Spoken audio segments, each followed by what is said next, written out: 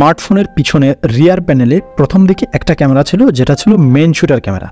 কিন্তু বর্তমানে স্মার্টফোনের পিছনে আমরা দুটা, তিনটা, চারটা পর্যন্ত ক্যামেরা দেখি। কিন্তু আমরা যারা ইউজার তারা অনেকেই জানি না যে পিছনের এই রিয়ার প্যানেলের যে লেন্সগুলো আছে ক্যামেরার, এই লেন্সগুলোর আসলে কোনটা কি কাজে ব্যবহার করা হয় বা কোনটার কি কাজ। আজকের এই ভিডিওতে আপনাদের কাছে আমি এই ফোনের রিয়ার প্যানেলে বর্তমানে যে ক্যামেরাগুলো আছে, এই ক্যামেরাগুলো এক্সপ্লেন করার চেষ্টা করব এবং একদম ডিটেলস বুঝিয়ে দেবো কোন ক্যামেরাটার কি কাজ বা কোন লেন্সটা কি কাজে ব্যবহার করা হয়। তো চলুন শুরু করা যাক।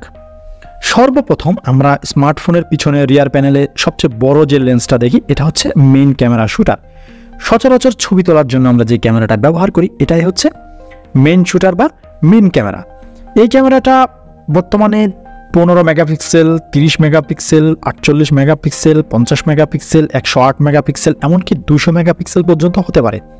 তো এই ক্যামেরাটার কাজ হচ্ছে আমরা নর্মালি যে ছবিগুলো শ্যুট করি, এই ছবিগুলো শ্যুট করা হচ্ছে এই ক্যামেরার কাজ।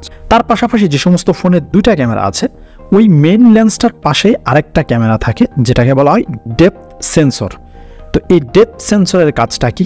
ডেপথ সেন্সরের কাজটা হচ্ছে আমরা যখন কোনো ফটো শ্যুট করি, দেখা যায় বর্তমানে বিশেষ করে ডিএসএলআর ক্যামেরা দিয়ে আমরা যখন ফটো শ্যুট করি, দেখা যায় ফটোর যে টার্গেটটা থাকে অর্থাৎ যে মেন সাবজেক্টটা থাকে, আপনি যদি কারও ছবি তোলেন, সেই মানুষটা বাদে, তার পিছনে যে ব্যাকগ্রাউন্ডটা আছে, এই ব্যাকগ্রাউন্ডটাকে আমরা ক্যামেরার মাধ্যমে যে ব্লার করে দেই, এই ডেপথ সেন্সরের কাজ হচ্ছে আপনি যখন মোবাইলে ছবি তুলবেন, তখন আপনি চাইলে যে মানুষটার ছবি তুলবেন, যা বা যে বস্তুটার ছবি তুলবেন, ওই বস্তুর পিছনে যে ব্যাকগ্রাউন্ডটা আছে, সেই ব্যাকগ্রাউন্ডটাকে ব্লার করে দেওয়া হচ্ছে এই ডেপথ সেন্সরের কাজ।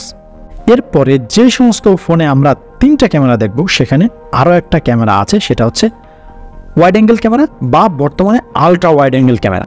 তো ওয়াইড অ্যাঙ্গেল ক্যামেরার কাজ হচ্ছে, আপনি ধরুন একটা গ্রুপ ফটো তুলছেন, কিন্তু ফটোতে ধরুন দশজন লোক আছে, সেখানে আপনি আটজনের ছবি তুলতে পারতেছেন, বাকি দুজন আপনার ক্যামেরার লেন্সে কাভার করতেছে না বা আপনার ফোনের যেই ক্যামেরা, এই ক্যামেরায় কাভার করতেছে না।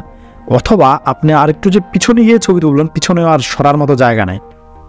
তখন আপনি যখন এরকম একটা সমস্যায় পড়বেন, তখন আপনি ওয়াইড অ্যাঙ্গেল লেন্স দিয়ে ছবি তুললে কিন্তু ওই ছবিটা চলে আসবে। অর্থাৎ একই অবস্থান থেকে আপনি যদি নর্মাল মেইন শুটার দিয়ে যে ছবিটা নেবেন এবং এরপরে আপনি ওয়াইড অ্যাঙ্গেল লেন্স দিয়ে যে ছবিটা নেবেন ওয়াইড অ্যাঙ্গেল লেন্সের ছবির স্পেসটা অনেক বড় হবে।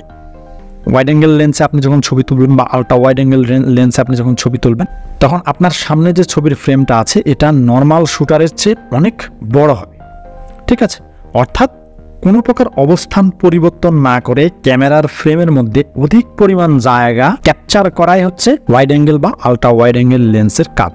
এরপরে যে সমস্ত ফোনে আপনারা দেখবেন চারটা ক্যামেরা আছে, সেখানে একটা ক্যামেরা থাকে মাইক্রো লেন্স ক্যামেরা বা সুপার মাইক্রো লেন্স ক্যামেরা। এটা ফোনের দাম ভেদে মাইক্রো বা সুপার মাইক্রো হতে পারে।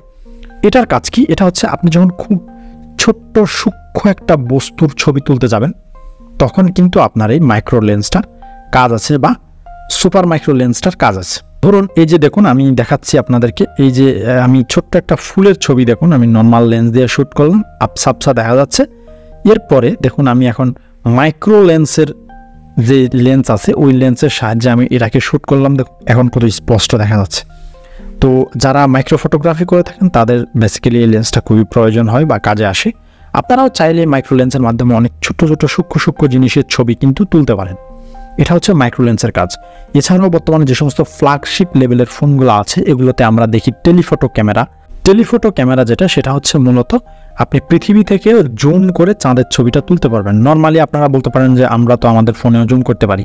এই জুমটা আসলে আমরা যে ফোনে স্ক্রিনটাকে এরকম টান দিয়ে ধরে যে জুমটা করি, এটাকে বলা হয় ডিজিটাল জুম আর টেলিফটো লেন্সের মাধ্যমে যে জুম করা হয়, সেটা হচ্ছে অপটিক্যাল জুম অর্থাৎ আপনি আপনার ক্যামেরায় যে টার্গেটটা নেবেন, অর্থাৎ যে সাবজেক্টটাকে নেবেন, ওই সাবজেক্টটাকে ক্যামেরার বিশেষ লেন্সের মাধ্যমে জুম করে কাছে নিয়ে আসাকে হচ্ছে অপটিক্যাল জুম বলে। অর্থাৎ ব্যাকগ্রাউন্ডটা ব্যাকগ্রাউন্ডের মতোই থাকবে। শুধুমাত্র আপনার ছবির যে সাবজেক্টটা বা ছবির যে মূল বিষয়বস্তুটা, এটাকে জুম করে সামনে নিয়ে আসা হবে। এটাই হচ্ছে টেলিফটো লেন্সের কাজ বা বৈশিষ্ট্য। এছাড়াও আরেকটা লেন্স থাকে, সেটা হচ্ছে টিওএফ লেন্স টিওএফ লেন্স হলো টাইম অফ ফ্লাইট তো এটা একেবারে ফ্ল্যাগশিপ লেভেলের যে ফোনগুলো এই ফোনগুলোর মধ্যে থাকে, এটার কাজ হচ্ছে ছবিটাকে থ্রি ডি ইফেক্টের মাধ্যমে ক্যাপচার করা। অর্থাৎ ছবিটা আপনি যখন তুলবেন, তখন দেখবেন যে ছবিটার মাঝে একটা থ্রি ডি ইফেক্ট চলে আসছে এবং ছবির ব্যাকগ্রাউন্ডটাকে এবং ছবিটাকে আলাদা মনে হচ্ছে, যেটা আমরা থ্রি ডি ছবিগুলোতে দেখি। তো এই ছিল বর্তমানে লেন্সের বর্তমান ফোনে ব্যবহৃত যে সমস্ত লেন্সগুলো আছে, এই লেন্সগুলোর কাজ এবং বৈশিষ্ট্য। ভিডিওটা ভালো লাগলে অবশ্যই লাইক দেবেন কমেন্ট করে জানাবেন, ভিডিওটা আপনাদের কেমন লাগল? আর হ্যাঁ সাবস্ক্রাইব করতে একদমই ভুলবেন না। আপনাদের সাথে দেখা হবে নেক্সট কোনো ভিডিওতে নতুন কোনো টপিক নিয়ে। ততক্ষণ পর্যন্ত সবাই ভালো থাকবেন, সুস্থ থাকবেন। আল্লাহ হাফেজ।